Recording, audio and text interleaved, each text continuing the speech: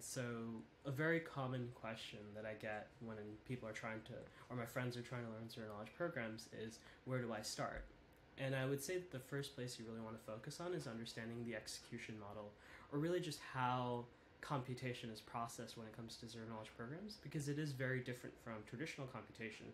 And getting a good understanding of this will get you, you know, the 80% of the way there to really get started and hit the ground running when it comes to zero knowledge compute. So let's start with an example specific to Mina Protocol because they're going to come out with the ZK programmability on mainnet just a few months. It's on the roadmap for this year, which is really exciting. Um, and in that platform, you write your contracts and your code in this language called SnarkyJS, which is really just a superset of TypeScript. Um, and then something weird happens when it comes to execution because it doesn't get executed on your computer just right away or in like bytecode or TypeScript code. What it does, what happens is it actually gets converted into something called a arithmetic circuit through something called Kimchi. Now that might just seem very uh, weird or scary to you, but it's not really that complicated when it comes to the intuition around it. What is really important to understand is this arithmetic circuit that gets generated for the zero knowledge proof is really a mathematical way of turning your computer program into something that is observable.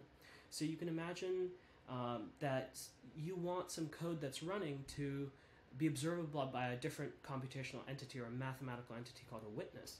And that's really what's happening here. Is you're taking code that might be like adding two numbers together, and you're creating a uh, a different type of program that allows it to be observed by something. And the reason we want this observation is because we want to send a proof that this observation exists to the consensus mechanism or a validator that then verifies that this observation occurred for this computation. So let's say you add 2 plus 2 and you want to create a proof of observation that observed that uh, a number was multiplied by 2. Well, 2 plus 2 does equal 4 and that's 2 times 2.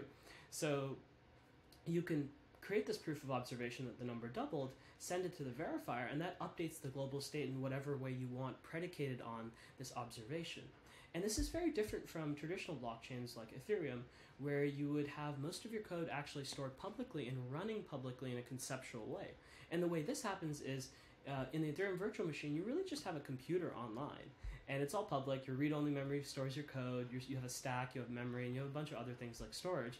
But the transaction you're sending is going to be some representation of a function call. So this could be in your call data, and you have like a nonce and gas data, and all that's sent to a consensus mechanism that is public, and the transactions are added to a blockchain of transactions.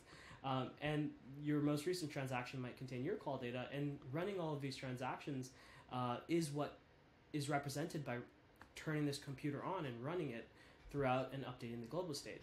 And so, as you can see here, there, there's a reason why zero knowledge based blockchains are very small because all they really need is the global state. They don't need a history of all call data and all transactions stored publicly. Um, and that's also gives you an understanding of why Mina protocol might be more powerful than, say, something like Ethereum.